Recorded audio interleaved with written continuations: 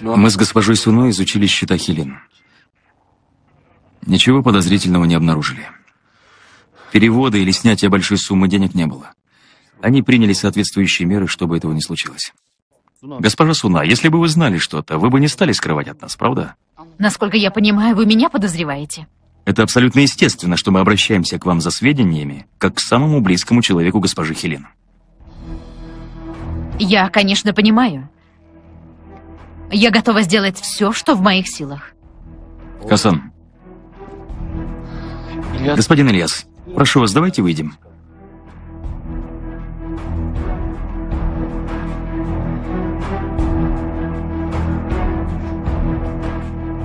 Начнем с истории нападения на госпожу Фелис. Вы стали свидетелем телефонного разговора. Да.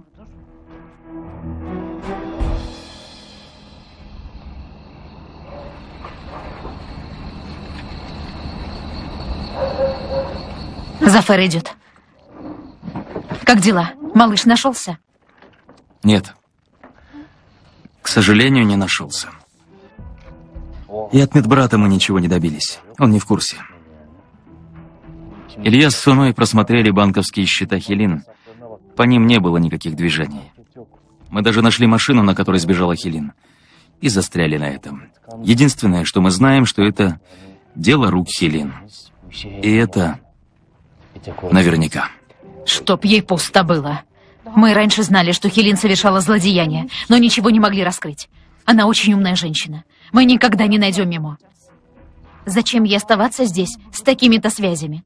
Женщина уже давно сбежала за границу. И вот чего нужно бояться. Тогда все будет кончено. Ребята, перестаньте так говорить. Вы доведете меня до инфаркта. Перестаньте. Нет, нет, нет. Не беспокойтесь. Этим утром для нее были закрыты все границы. Предупреждены все, от пограничников, жандармов и береговой охраны до сотрудников аэропортов. По крайней мере, Мимо не у продавцов детьми. Посмотрим на ситуацию с оптимистичной стороны. Разве Хелен не нужен, Ильяс? Нужен. Она же не намерена причинять ребенку вред, чтобы вернуть Ильяса. Мамочка, ну у тебя и логика. А что делает дочка?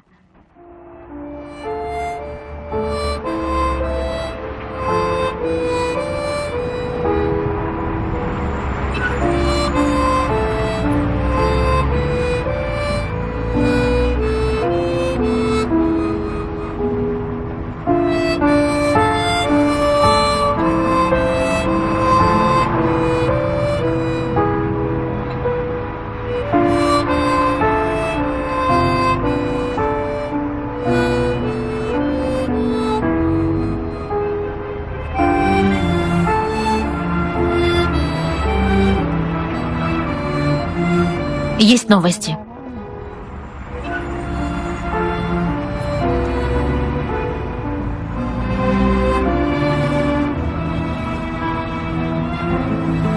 Асия, здравствуй. Хочешь есть?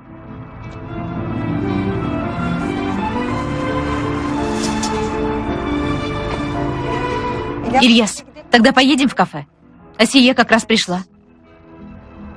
Мы в кафе неподалеку. Зять тоже там. Джем, Салиха, Умер. Все там. Нет никакого смысла ждать здесь.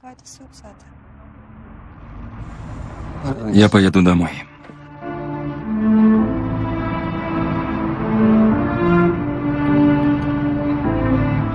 Вставай, Асия. Пойдем.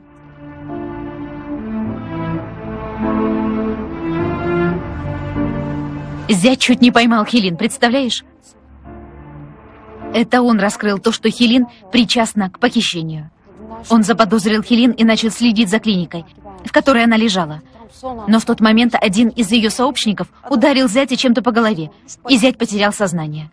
Несмотря на это, он приехал в участок и сообщил новости. Знала бы ты, что было с ним после исчезновения Мимо.